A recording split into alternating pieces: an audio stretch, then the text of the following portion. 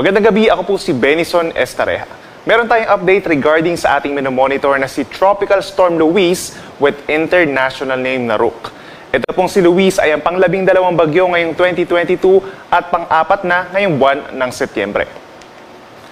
As of 10 in the evening ay huling namataan itong si Bagyong Luis sa layong 1,000 kilometers east-northeast of extreme northern Luzon. Kung kanina ay 55 kilometers per hour yung lakas nito, ngayon naman ay nasa 65 kilometers per hour na malapit dun sa sentro at may bugso hanggang 80 kilometers per hour. At kumikilos pa rin pahilaga, hilagang kanluran at may kabilisan nito 25 kilometers per hour. Kung mapapansin po nila, walang direct effect itong si Bagyong Luis sa alinmang panig ng ating bansa. Yung mga pag-uulan po dito sa ating bahagi ng western sections of central and southern Luzon ay dahil po sa habagat or dun sa southwest monsoon. Habang dito naman sa bahagi po ng Mindanao, meron tayong minomonitor pa rin na low pressure area. As of 10 in the evening ay nasa 250 kilometers east-southeast ng Surigao del Norte itong low pressure area. Pero kung mapapansin po nila ay uh, wala itong masyadong kaulapan na dinadala ng mga pag-ulan dito sa bahagi po ng Mindanao. Meron lamang mga pulupulong pag-ulan dito sa southern portions, mataas lamang ang tsansa ng mga pag-ulan dito sa may eastern Visayas and Caraga region at mababa ang chance na ito ay maging isang bagyo. In fact, possible po ito na malusaw or mag-dissipate sa susunod na 24 oras.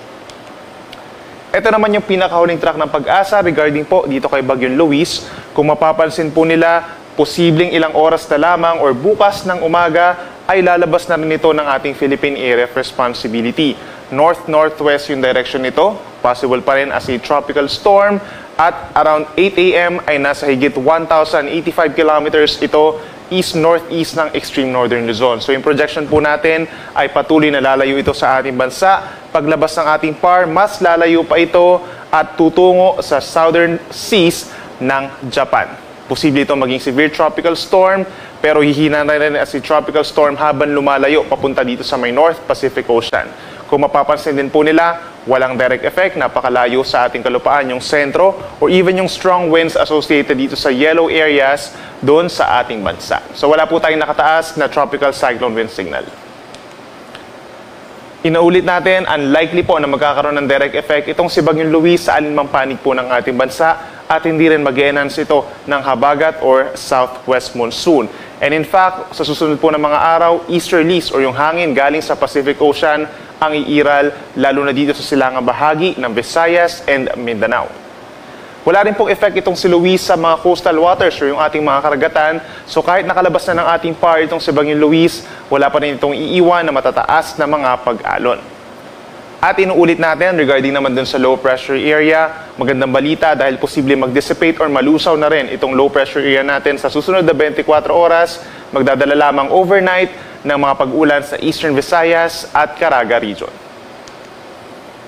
At inuulit natin in terms of track and intensity outlook, generally north-northwest dito sa may northern part ng Philippine Sea sa susunod na mga oras itong si Bagyong Luis at lalabas na rin ng ating PAR bukas ng umaga. Yan muna ang latest mula dito sa Weather Forecasting Center ng Pag-asa. Ako po si Benison Estareja na nagsasabing sa anumang panahon, pag-asa ang magandang solusyon.